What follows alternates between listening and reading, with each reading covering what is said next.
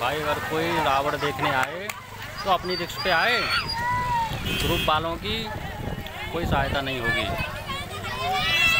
क्योंकि सिकन्ना वाले पुल पे बाढ़ आ गई है, बाढ़। गाजबाद का रावण देखने आए तो अपनी रिक्स पे आए। ग्रुप वालों की कोई मदद नहीं होगी इस, इसके लिए, ठीक है? देखो।